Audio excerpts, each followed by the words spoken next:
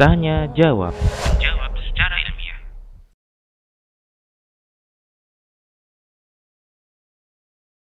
terkait dengan uh, pendidikan kepada anak-anak kita, maka tentunya kita katakan bahwa kalimat Al-Quran yang Allah Subhanahu wa Ta'ala firmankan itu akan menyentuh hati semua kalangan. Artinya, tatkala kita terjemahkan Al-Quran dengan baik dan kita sampaikan dengan baik, itu sudah sangat cukup menggugah hati siapa pun, atau sekalipun anak-anak.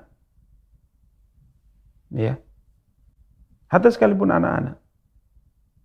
Hanya saja kenapa, sebagaimana dalam pertanyaan, kenapa anak-anak lebih percaya dengan cerita-cerita cerita-cerita mungkin kita katakan fiksi yang tidak benar. Kemudian dongeng-dongeng yang tidak benar. Kenapa lebih mudah bagi mereka untuk bisa menangkap dan memahami itu dibandingkan cerita yang Allah SWT sebutkan dalam Al-Quran. Maka jawabannya tidak dan tidak bukan adalah karena kurangnya kita menyampaikan kepada mereka. Artinya mungkin yang mereka mereka lihat, yang mereka dengar hari-hari adalah cerita-cerita dongeng itu. Cerita-cerita yang tidak benar itu. Mungkin kalau presentasinya atau perbandingannya kita katakan dalam satu bulan dibacakan kepada cerita Nabi Musa, cerita para nabi itu, cerita para ummahatul mukminin, istri-istri Nabi, cerita tentang sahabat-sahabat wanita-wanita Rasulullah, sahabat-sahabat lelaki Rasulullah, itu mungkin dalam satu bulan kita ceritakan dua kali. Tapi cerita-cerita dongeng tersebut, cerita fiksi, mungkin dia dia baca, dia dengar dan dia lihat setiap hari. Wajar kan?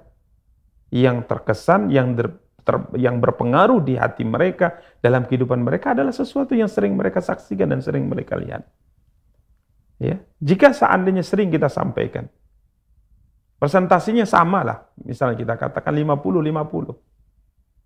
Artinya anak-anak kita itu sering melihat film-film seperti itu.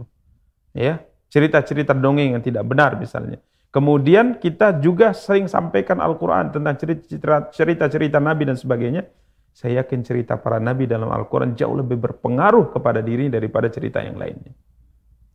Apalagi kalau seandainya yang terbesar presentasinya adalah cerita Al-Quran yang kita sampaikan kepada generasi kita. Tentunya jauh lebih berpengaruh. Coba bahasa mungkin sebagian ibu-ibu yang kita sering dengar dongeng sebelum tidur. Ya, dongeng sebelum tidur. Kenapa harus pilih dongeng? Sebelum tidur diulang. Kalau dia anak laki-laki, ceritakan kepadanya tentang para sahabat-sahabat Rasulullah ceritakan kepadanya tentang para nabi-nabi Allah tabaraka taala. Kalau dia anak perempuan, ceritakan tentang wanita-wanita salih dalam Al-Quran.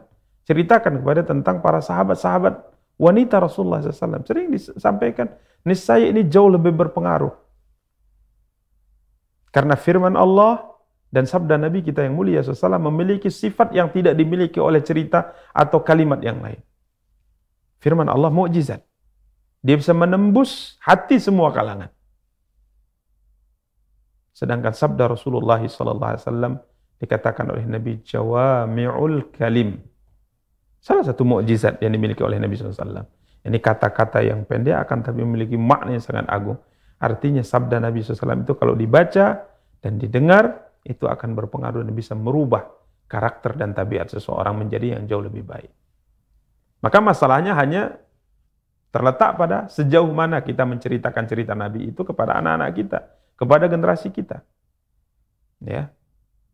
Maka tentunya yang sering dilihat dan sering didengar, sering disaksikan oleh mereka ini yang berpengaruh, itu pasti.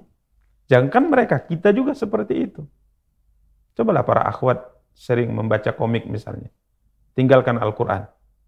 Ya.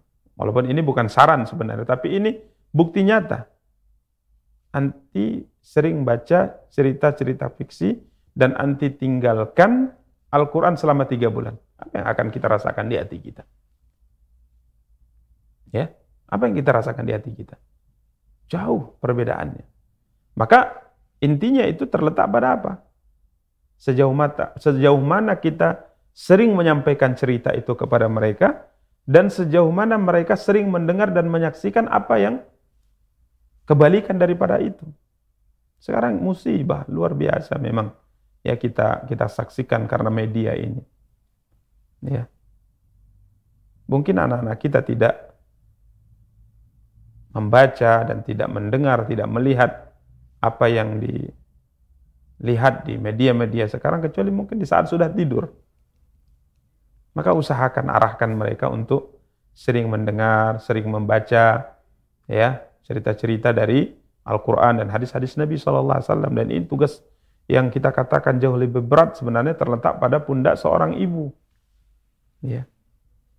Sehingga benar yang dikatakan oleh sebagian ahli syair al-ummu madrasatun idza adattaha adatta jailan tayyibal a'raqi Ya, ibu itu hakikatnya adalah sekolah, lembaga pendidikan.